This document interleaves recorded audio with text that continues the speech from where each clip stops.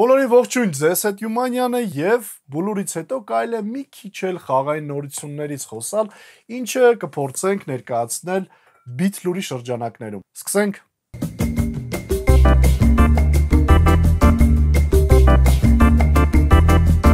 Հիդեո Կոջիմայից սկսենք նորությունները Beat-Lure-ի։ Ինչ է պատրաստել մեզ այդ հիասքանչ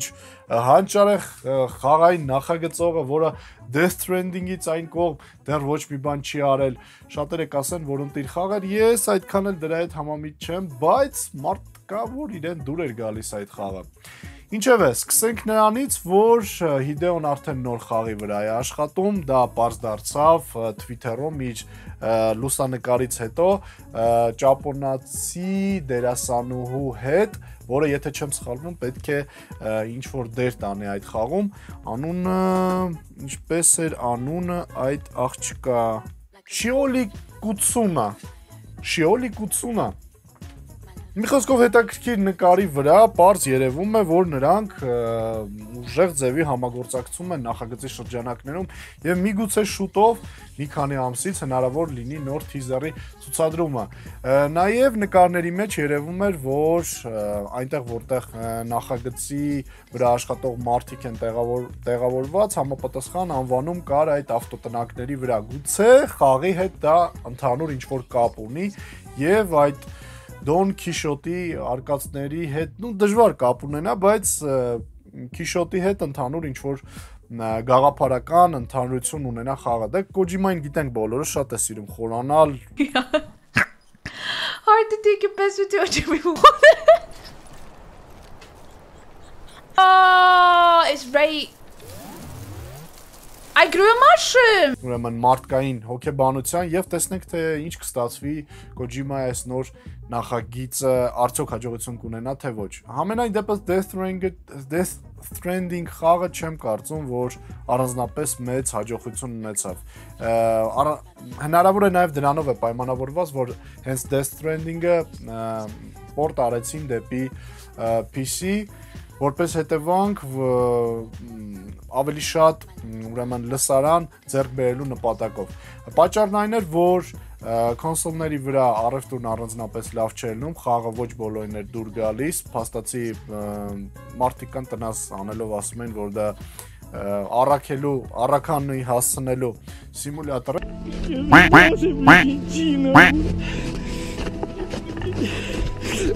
Блять, эти мокрые, блядь. եւ ինչ որ չափով նաեւ ճիշտ էին։ Մարդիկ կան որոշները, որ չհասկացան խաղը, մարդկանց կան, որ դուր չեկավ եւ լսանը շատացնելու համար խորաման Kojima-ն Sony-ի հետ համատեղ որոշեցին, որ PC վրա դուրս անելը եւ որոշ չափով Steam-ի հետ կիսվելը իրենց եկամտով ավելի լավ է, քան թե քայքայված խաղային նախագիծը։ Տեսնենք, թե նոր խաղա նախագիծը, նոր խաղային նախագիծ ինչ հաջողություն կունենա եւ երբ ընդհանրապես դուրս կգա։ Հնարավոր է շուտ, հնարավոր է ոչ։ Ինչևէ անցանք հաջորդ լուրին, որը կապված է Need for Speed Unbound-ի հետ։ Unbound, հա։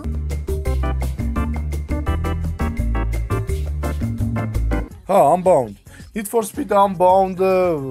բավականին լավ կերպով ընդունվեց լսանի կողմից, թեկուզով չի կարելի ասել, որ մեծ աստղեր է քաղում երկնքից այն առումով, որ միանշանակ վերջնականապես լավ տարբերակ կամ 90-ից այն կողմ տոկոսային հարաբերությամբ Steam-ում նա ձայներ չի հավաքում։ Պաճառը չեմ կարող ասել ինչումն է, բայց նայելով տրեյլերին եւ հասկանալով, որ նույն Need for Speed Heat-ի նման իրանք մտցրել են այդ գիշեր ցերեկի գաղափարը, ինձ որը այնքան էլ դուր չեկավ, պլյուս դրան ավելացրել են ոնց որ նույն նույն խաղը լինի, բայց ավելացրել են մի քանի կողքից էլեմենտներ, որը իբր թե պետք է ավելի թարմացնի խաղը։ Իրականում ինչքան Need for Speed-ի սերիաները նայում ես, այնքան համոզվում ես, որ գնալով ինչ որ պոտենցիալ է իր այդ խաղային ֆրանշայզը, այդ խաղային ֆրանշիզան սկսում է կորցնել, որովհետև ինչքան նոր Need for Speed-ները դուրս եկան, այնքան արդեն ոնց որ ավելի քիչ ես ուզում դրա հետ ընդհանուր ինչ որ բան ունենալ կամ նույնիսկ ժամանակ ծախսել դրա վրա։ Հին Need for Speed-ները ընտիր տարբերակներ են։ Ես հիշում եմ, նու, այդ շատ շուտ բան Need for Speed-ներ էին։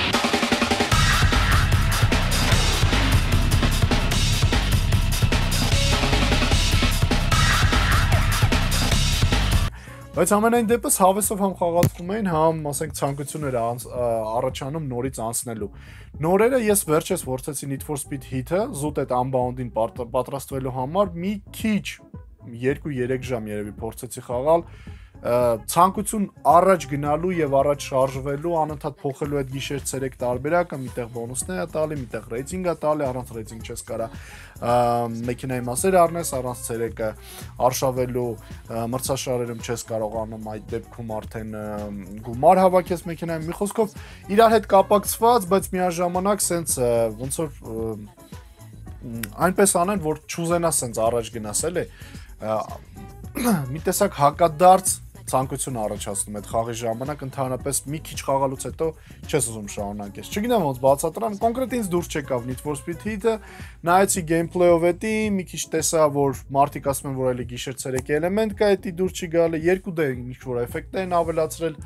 առանձնապես ասես էտի մեծ դեր է խաղում խաղային process-ի մեջ ոչ գեղեցիկ է հնարավոր է որոշ մարդկանց դուրս գա դուր գա բայց այն ասել որ միանշանակ ընտիր խաղա եւ առաջին տեղերը կզբաղեցնի տարվա լավագույն խաղ կճանաչվի կամ ուրիշ բան դժվար է դժվար է այդ կոնկրետ դեպքում ասել Need for Speed-ի համար տեսնենք հետագայում հնարավոր է պատճեն հանեն, հնարավոր է DLC-ներ ավելացնեն ու ինչ որ ձևով խաղային ընթացքը փոխվի ու ավելի հետաքրքիր դառնա մարդկանց, որ ռեյտինգներն է միգուցե բարձրանան, բայց ներկայդրությամբ ոնց ես հասկանում եմ ինչ թիմ է լինի, ով գալիս է EA եւ սկսում է աշխատել Need for Speed-ի ֆրանշայզի վրա, ֆրանչայզի վրա ունենում է խնդիր է տենց այդ Frostbite ուրեմն խաղային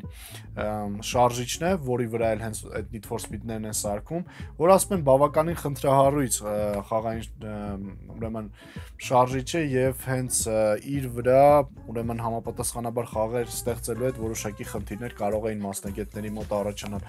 Տեսնենք, տեսնենք հետագայում հնարավոր է սա վերջինը չլինի եւ 1-2 տարուց հետո վերջապես նորմալ Need for Speed Most Wanted հանուն կամ Need for Speed Hot Pursuit լուծե երրորդ մասը առաջինը լավն էր երկրորդը չգիտեմ այն ձևին ասում թե նույն բառով մի խոսքով Need for Speed-ից անցնենք առաջ տեսնենք էլ ինչ կա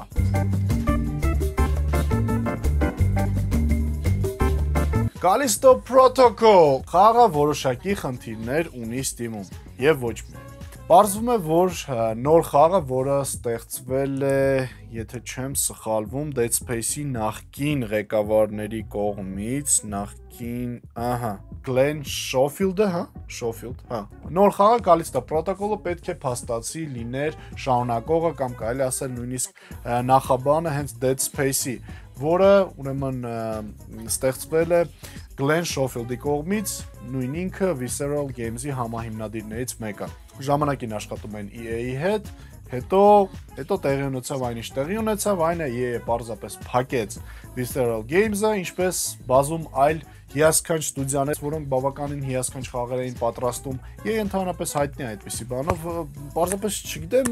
ծափարեմ թե չէ, բայց ծափարելու բան չկա, EA հիասքանչ կերպով կարողանում է վերացնել այս ստուդիաները, ում հետ աշխատում է։ Սկզբից այդ մարտիկ գալիս են, սկսում են աշխատել, հիասքանչ խաղ է դուրս գալիս եւ որոշ ժամանակ հետո EA այդ ստուդիան փակում է։ Ես քանչ քաղաքականություն եի ջան, ես համոզված եմ, որ դու մեծ առաջընթաց կունենաս հետագա ստուդիաների հետ կապված եւ նոր խաղերի նախագիծ ստեղծելու ժամանակ։ Ինչևէ, Glenn Schofield-ի համահեղինակած խաղը, որը պետք է փաստացի Dead Space-ի շարունակությունը լիներ, այսպես ասած, այլ ուրեմն տարբերակով որոշակի խնդիրներ ունեցավ։ Որոշակի խնդիրները դա մեղմ է ասված, խաղը առանց օպտիմիզացիայի, մեղմ ասած դուրս եկավ տենց բաց կմախքող դեպի խաղացողները եւ նրանց դա դուր չեկավ։ Steam-ում սկզբնական պահին, եթե չեմ սխալվում, խառը դիտումներ եւ ուրեմն բաց թողած մեկնաբանություններ կային հիմնականում բացասական, դրանից հետո հնարավոր է ինչ որ բան փոխվեց, բայց հիմնական խնդիրը, ասենք, սյուժետ ա, սյուժեն չէր կամ ա, ուրեմն գեյմփլեյի հետ կապված որոշակի խնդիրներ ոչ։ Այսինքն խաղի հեղինակները այնպես են արել, որ օպտիմիզացիան 0-ական մակարդակի վրա լինի եւ յուրաքանչյուր տեսակարդ, նույնիսկ ամենաթանկը եւ ծանրը, ինչն է RTX 4090-ը, որոշակի խնդիրներ ունենա այդ པարս խաղը վերարտադրելու ա, ժամանակ։ խնդիրները միանգամից բարթացան այնքանով, որ մարդիկ մեկը մյուսի հետևից այդ խնդրահարույց պահերը ներկայացնում էին Steam-ում մեկնաբանությունների տեսքով եւ ստիպված հեղինակներից մեկը հենց Շոֆիլդը ստիպված եղավ պատասխանել, որ արդեն պատճ չեն անում եւ միանգամից պետք է բոլոր խնդիրները վերացվեն։ Ինչն էր պատճառը, որ այդպես դուրս եկավ, բարձվում է թիմի խաղային թիմից մեկը շտապում էր խաղը դուրս հանել եւ ինչ որ սխալ տեղ, ինչ որ պատճ արեց, ինչ որ խնդիր առաջացավ, դրանից հետո սա խաղը գնաց վարի դժվար է ինչ որ չափով ավատալ, որ այդպիսի բան կարող է տեղ ունենալ, բայց ամեն ինչ հնարավոր է գուցե եւ այդպիսի խնդիր լինում է։ Սովորաբար այդպիսի AAA խաղեր դուրս հանելու ժամանակ ամեն ինչ արդեն որոշված է լինում եւ փոքրիկ այդպիսի խնդիրներ չպետք է տեղ ունենան, բայց չի բացառվում, որ որոշը որոշ մարդիկ որոշեցին, չի բացառվում, որ ոմանք որոշեցին խաղ խաղալ Sofield-ի նոր հիմնած ընկերության հետ եւ վերջնականապես ուրեմն մխրճեն Callisto Protocol խաղը ցածր ռեյտինգներում, քանի որ չմոռանանք, որ Dead Space-ի remake-ն է դուրս գալիս EA-ի կողմից, եթե չեմ սխալվում, հա, ֆրանշիզան հələ իրան է պատկանում, որպես հետևանք մենք կունենանք նոր, ուրեմն Dead Space, որը դուրս է գալիս արդեն անհաջող մեկնարկած Callisto Protocol-ի պրոտոկոլից հետո եւ մարդիկ ավելի շատ մեծ հույսեր կկապեն այդ նոր խաղի հետ։ Փաստացի Callisto Protocol-ը ինչ էր անում։ Խելացի քայլ էր, նա դուրս էր հանում Dead Space-ից առաջ իրենց խաղը հնարավոր է այդ պատճառով այս խնդիրները առաջացան, որովհետև նրանք արագ կերպով էին ուզում դա անել եւ հնարավոր է հենց այդ դրա հետ կապված այս խնդիրների ուրեմն լուծումը որոշակի ժամանակ ունենա։ Ես համոզված եմ, որ կանցնի ասենք 1.5-2 ամիս եւ խաղա գլուխ կբերեն, բայց ոչ այդ այդ բացասական մեկնաբանությունները հանելը բավականին բարդ կլինի։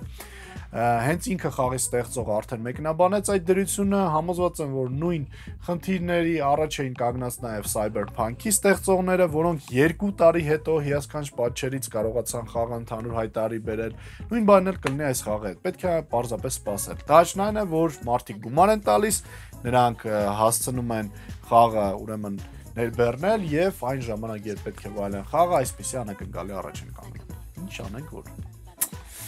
պատահում է, բայց ոչ քո վճարած գումարի դիմաց։ Անցնենք առաջ։ Super Mario Bros. հիասքանչ Nintendo-ի խաղը, որը ես անձնապես երբեք չեմ սիրել, արդեն ստանում է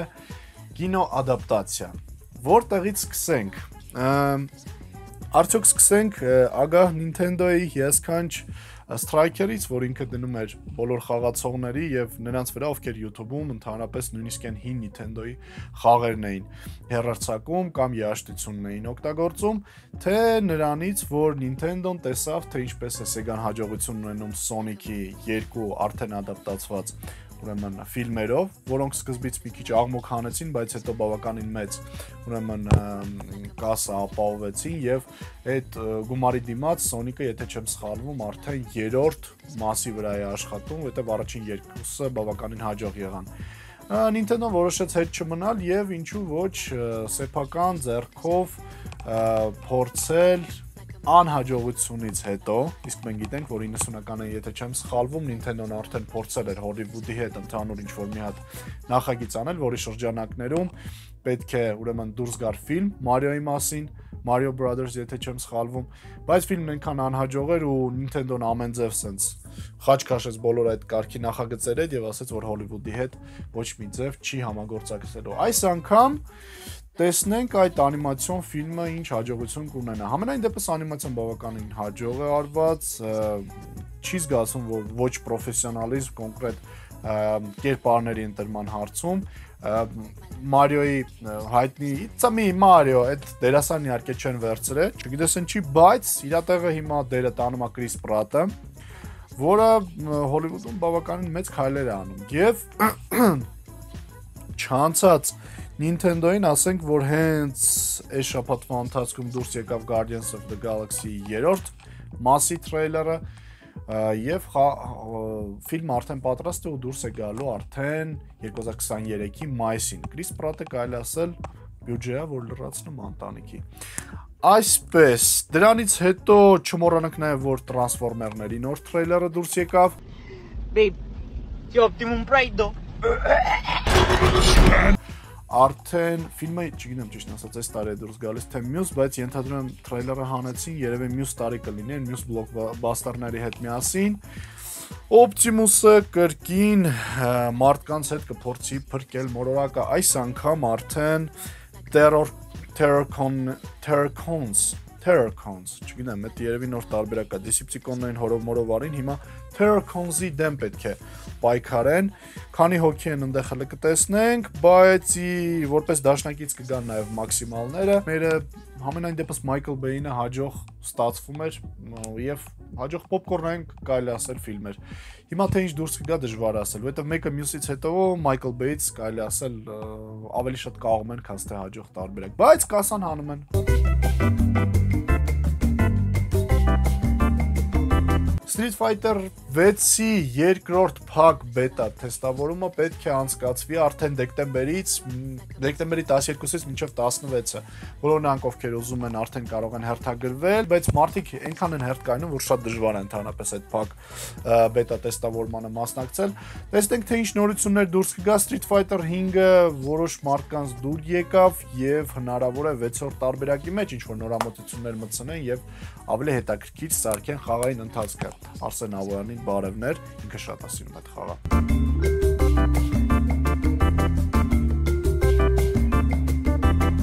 Իսկ Street Fighter 6-ից հետո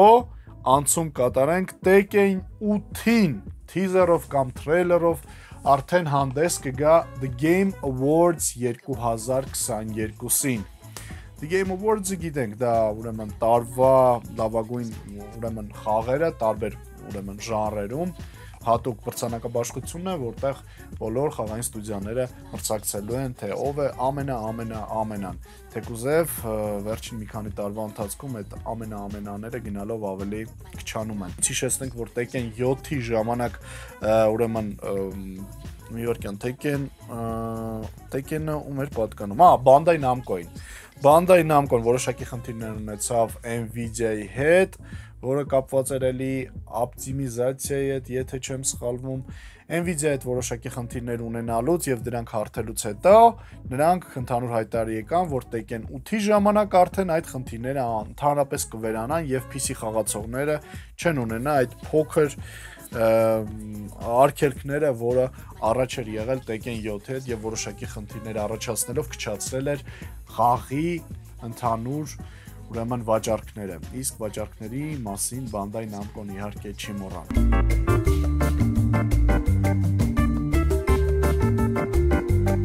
Խոսեցինք The Game Awards-ի մասին եւ հիշեցնենք, որ Valve ընկերությունը հուսով եմ Գաբենի հետ միասին,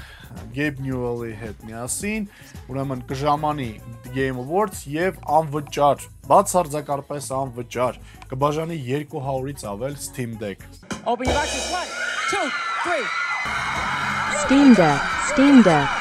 Steam Deck. Dove stanno meando? Dove stanno meando? ես ստանում մի հատ։ Ну, տեսնենք թե ուրեմն ը, ում կհասնի ում չի հասնի։ Համոզված եմ, որ դիմացի նստածներն այդ առանձնապես էլ պետք չի։ Ստուդիաների աշխատողներն իսկ արդեն 3-4 շարքերի մարտիկ, եթե հասցնեն ինչ որ բան կարող են նույնիսկ վերցնեն։ Եթե Gabe Newell-ը ինքը անձամբ գա ու էդի տա, ինչպես առաջ էր անում Steam Deck-ը առաջ տանելով եւ ավելի պոպուլարիզացիա անելով այդ սարքը, հնարավոր է բազում մարտիկ հենց առաջին շարքից էլ վազեն ու վերցնեն ստորագրությունը եթե թողնի вообще լավ է։ Դե տեսնենք, ասում եմ 200, բայց համոզված եմ, որ Valve այնքան Valve այնքան մեծահոգի ընկերություն է, որ կբաժանի նույնիսկ 200-ից ավելի Steam Deck, որը ավելի շատ ու մեծ համբավ է սկսում վայելել ոչ միայն հյուսիսամերիկյան խաղացողների մոտ, այլ նաև տեղափոխվում են Եվրոպա եւ ԱՊՀ երկրներ։ Մարդկանց դուր է գալիս, հարմար է, եթե չեմ սխալվում, Valve-ը կոնկրետ աշխատում էր ուրեմն հատուկ օպերացիոն համակարգով, որը Windows-ի հետ ընդհանուր ոչինչ չուներ ու դրա համար էլ խնդիրներ խաղերի ուրեմն խաղերը ընդհանրապես բացելու հետ ընդհանրապես չեր ունենում։ Սկզբից էր որոշակի խնդիրներ առաջացան նրա հետ կապված, որ բազում խաղեր միանգամից չէ, որ Steam-ի ուրեմն գրադարանից կարողանում էին խաղալ հնարավոր դառնալ խաղալու համար հենց Steam Deck-ում, բայց ժամանակի ընթացքում արդեն նորանոր հարյուրավոր խաղեր սկսեցին հասանելի դառնալ եւ Steam Deck-ը բավականին ուժեղ մրցակցություն է ստեղծում Nintendo-ի համար, որը տեսնենք նոր տարբերակ Nintendo-ի կհանի, թե չէ, որովհետև այն տարբերակը, որ հիմա ունի եւ այն չիպը, որը նրա վրա է օգտագործվում, ես հիշում եմ Bayonetta 3 տարբերակը, որ նայում էին գրաֆիկով Nintendo Switch-ի վրա, դա պարզապես մեմ ասած այնքան էլ գեղեցիկ չէր։ Փաստացի Nintendo-ն օգտագործում է Nvidia-ի հին Tegra չիպերը, որոնք թույլ չեն տալիս ամբողջությամբ վերցանել խաղի հնարավորությունները եւ գեղեցկությունը ցույց տալ հնարավորինս խաղացողներին։ Տեսնենք թե ինչ դուրս կգա Nintendo-ի մոտ, հələ որ Steam Deck-ը եւ Valve-ը բավական մեծ հաջողություն են ունենում։ Շարունակելով Nintendo-ի թեման, ասենք, որ Nintendo-ն Nintendo-ի վրա դուրս է գալիս Encryption խաղը, Encryption-ը հիասքանչ խաղ, որը միանշանակ խորհուրդ եմ տալի, PC-ի վրա կա, PS4-ի 5-ի վրա էլ, եթե չեմ սխալվում, կա եւ Xbox-ի վրա էլ։ Եթե PC ունեք, ունեք ժամանակ ու հնարավորություն, անպայման փորձեք encryption-ը, չեք փոշմանի, ռոգալիկի ժանրի խաղ է կարելի ասել, չեք փոշմանի, սփոլ չեմ անի, parzapes հետաքրքիր խաղ է, խորհուրդ եմ տալիս, փորձեք, կասեք արդյոք ձեզ դուր եկավ թե չէ։ Այդ ժանրի խաղերը մի քիչ տաունակ են, կարելի ասել մի քանի ժանրերի խառնուրդ է եւ որոշակի հետաքրքրություն ստեղծում է համատած մյուս խաղերի, որոնք նույն ձև երբեմն տախտուկ եւ իրար կրկնում են։ Encryption-ը ինչ որ յուրահատուկ եւ նոր բան է։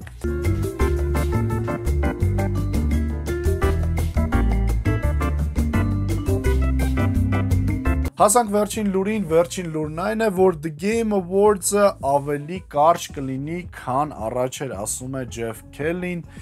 The Game Awards-ի ուրեմն հեղինակներից մեկը եւ այն մարդը, որը ղեկավարում է ողջ Game Awards-ի process-ը։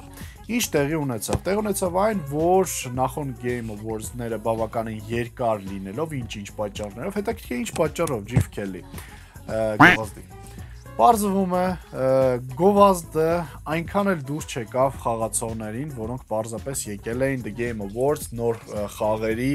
ուրեմն թրեյլերները դիտելու եւ ընդհանրապես այդ մրցանակաբաշխությանը ոնց որ ներկա լինելու թեկուզ on-line, թեկուզ հեռավորության վրա։ Անցած Game Awards-ը ես հիշում եմ նայում այդ այդ մի հատ անկրկնելի գովազդի տանջանքեր, որ մեկը մյուսի հետևից էին գալի, ունես տպավորություններ ոնց որ այդքան ժամվա մեջ պետք պետքա խցկվեին ամենա հարուստ, ամենաչախ, ամենամեծ գովազդակիրները եւ խաղերը մի կողմ էին դրվում, իսկ սաղ դառնում էր Ե3-ի նման ինչ որ մի հատ sense գովազդային անհասկանալի բան։ Հիմա արդեն դա հասկանալով եւ այն մեկնաբանությունները, որը թողնում են խաղացողները եւ այն մարդիկ, ովքեր դիտելու են, այդ ուրեմն մրցանակաբաշխությունը Jeff Kelly-ին համոզվեց, որ լավ է ավելի կարճ լինի Game Awards-ը, քան թե երկար ու տախտուկ, ինչը անցած տարբերակներում էր, բայց նրանք չգիտես ինչի դա երբեք չէին ասում։ Տեսնենք երբ կգա Game Awards-ը եւ արդյոք Jeff Kelly-ն իր խոսքը կկատարի ու այդքան երկար չի տանջի մարդկանց գովազներով։ Տեսնենք Աստորել այսքանը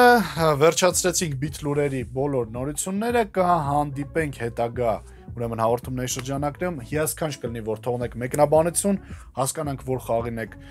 դու ուզում որ լինի մրցանակաբաշխությանը Game Awards-ին, արդյոք արդեն գիտեք ֆավորիտներին եւ